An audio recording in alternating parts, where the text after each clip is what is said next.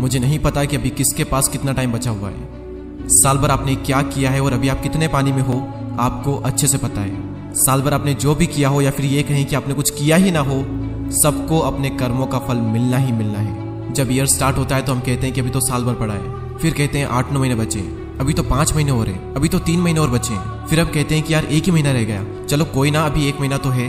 फिर दस दिन रह जाएँगे, फिर दो दिन रह जाएँगे और एक दिन ऐसा भी आएगा जब अगले ही दिन आपकी एग्ज़ाम होगी। और ये एक नेवर एंडिंग लूप है, जो स्कूल टाइम में भी और स्कूल के बाद लाइफ के हर क्षेत्र में आप ऐसा ही करोगे। खैर, अब जो हो गया, उसके बारे में बात करने से कोई फ़ायदा तो नहीं है, लेकिन अभी अगर आपके पास में टाइम बचा हुआ है तो उन बचे हुए दिनों में अपना हंड्रेड परसेंट दो। क्योंकि मैंने अपने टाइम पर एक बात ऑब्ज़र्व की थी कि एग्ज़ाम में अगर 10 दिन भी बचे हैं तो उन 10 दिनों में और एग्ज़ाम के बीच हर पेपर में लगभग कुछ ना कुछ हॉलीडेज होते हैं। तो अगर कोई मन लगाकर उन दिनों में भी अच्छे से पढ़ ले तो वो भी अच्छा परफॉर्म कर सकता है। बशर्ते वो अपना मन लगाकर उन बचे हुए दिनों में अपना 100 परसेंट दे। अगर आप लकी हो तो शायद आपके एग्ज़ाम में भी ज़्यादा टाइम बचा होगा। और कईयों की एग्ज़ाम चल भी रही होगी। तो अगर आपके पास में टाइम है तो जो टाइम बचा हुआ है, उसको भगवान श्री राम जी की तरह बिताओ। क्या मतलब है कि श्री राम जी की तरह बिताओ? जिस तरह श्री राम ने चौदह साल का वनवास किया था, उसी तरीके से आपको बचे हुए दिनों में उन्हीं की तरह ज़िंदगी जीनी होगी।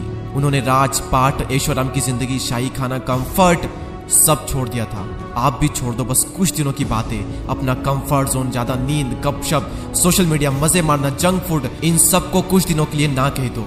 अपने दिन में एक घंटा एक्स्ट्रा निकालो। एक घंटे कम सो। अगर आठ घंटे सोते हो तो सात घंटे सो। सात घंटे सोते हो तो छह घंटे सो।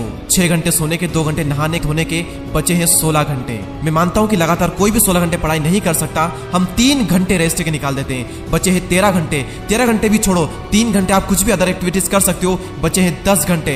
बहुत होते हैं दस घंटे। अगर आप पूरे फोकस के साथ में दस घंटे भी मन लाकर पढ़ते हो ना तो बहुत है आपके लिए।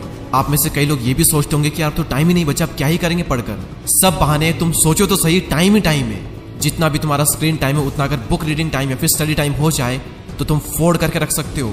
मेरा मोटिवेशन आपको एक किक देगा, आपसे स्टार्ट करवाएगा। लेकिन सेल्फ डिसिप्लिन आपसे कंटिन्यू करवाएगा।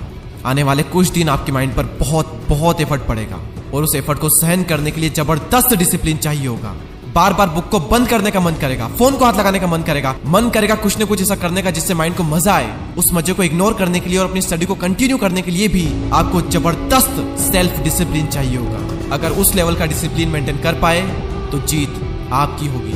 आने वाले कुछ टाइम में इस चैनल पर लगातार study tips and study motivational videos आते रहेंगे, जो कि एग्ज़ाम टाइम में आप सभी की बहुत ज़्यादा हेल्प करेंगे। तो उन्हें मिस ना करने के लिए सब्सक्राइब करके बेल आइकन को प्रेस करें। मैं आपसे मिलूँगा अगले वीडियो में, तब तक के लिए जय हिंद, जय भारत।